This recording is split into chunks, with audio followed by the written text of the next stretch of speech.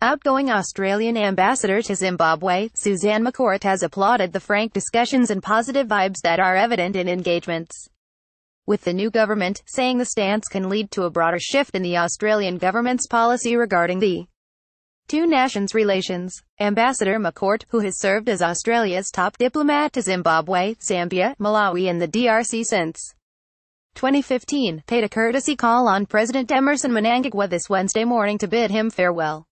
Emerging from the meeting, Ambassador McCourt expressed optimism of improved relations and cooperation across various sectors between the two countries.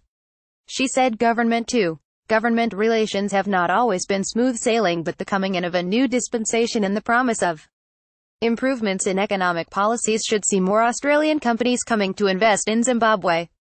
I am encouraged by the frank discussions I had with President Mnangagwa. He is so open-minded and I am optimistic that bilateral relations will now turn for the better, Ambassador McCourt said.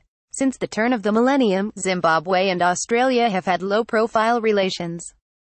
Australian mining companies are spread throughout the African continent but their presence in Zimbabwe has been quite low but from discussions held with the president, more cooperation is indicated, says the ambassador.